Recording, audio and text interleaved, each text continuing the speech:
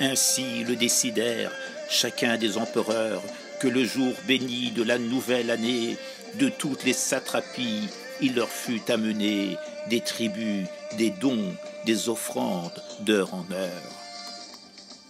De tout coin de l'Empire, du soleil éclairant jusqu'à la haute lune de chaque possession, au jour faste de nos rouses, en longue procession, il venait s'incliner devant le roi d'Iran. La Padana formait le lieu de ses escortes, du trône de Jamshid, la superbe et l'orgueil, du siège de Darius, le palais et le seuil, là où vient se ranger des gardes de la cohorte. Des frontières de l'Ouest à celles du Touran, voici venir en nombre les délégations, un escalier de pierre fait l'énumération tout au long de son mur des hommages à l'Iran. Voici, portant les armes, le peuple frère des Mèdes, dans ses bras des lionceaux en guise de présent, suivi des Arméniens, des Scythes, s'empressant, portant à bout de bras le plus cher qu'ils possèdent. Conduisant des chevaux, voici d'autres parents, comme le peuple Saka, aux bracelets précieux, les prières s'élevant de terre jusqu'aux cieux, les partes montant les marches, futurs rois d'Iran. Entraînant des buffles, les Babyloniens, pénétrant le palais, suivent les officiers, les Lydiens et leurs chars sont reçus, remerciés, les suivent les Gandariens, les ancêtres indiens.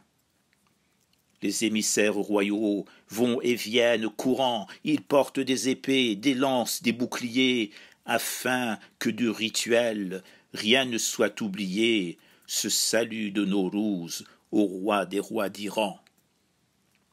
Conduisant des taureaux, émissaires d'autres races, dans des robes choisies, voici les Égyptiens, prononçant les vœux que chacun fera sien, longue vie à Darius, dont rayonne la face.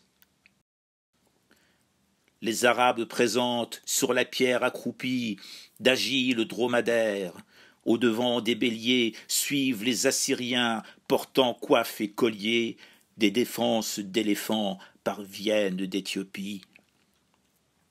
Les parfums des épices, exquis et odorants, s'élèvent jusqu'au-dessus des puissants chapiteaux, de montagnes en forêt, de déserts en plateau. On attend la venue du nouvel an d'Iran.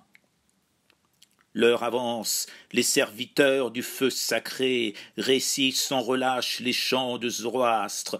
Demain sera nouveau, ainsi qu'un nouvel astre, à la flamme nouvelle, par leurs mots consacrés. Tout au-dessus du trône, les ailes s'étirant, entre hommes et oiseaux, l'esprit glorieux des Perses dispense la grandeur, son étoile déverse une grâce divine qui protège l'Iran.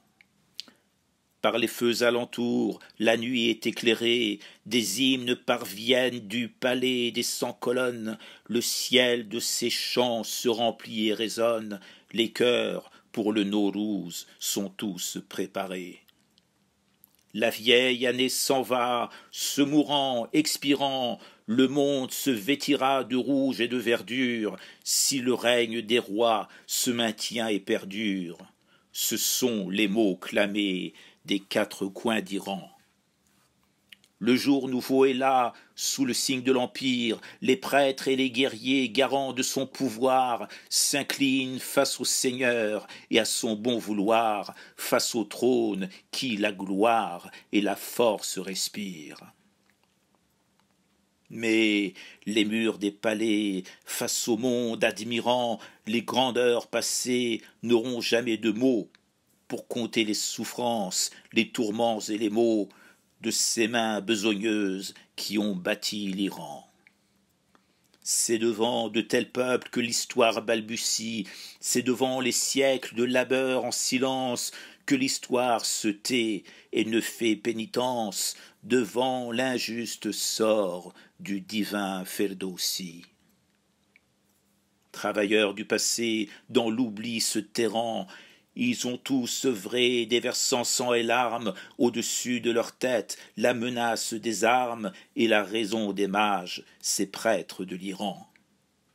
Ces ouvriers sans nom, sans histoire et sans trace, sous le poids du labeur, patients et obstinés, de la Perse, ont forgé sa vaste destinée, le forgeron cavé raconte leur juste place. Qu'importe une naissance ou un germe différent, et qu'importe la gloire sous la règle des castes, la grandeur d'un palais, son renom et son faste, ces travailleurs ont cru au seul nom de l'Iran.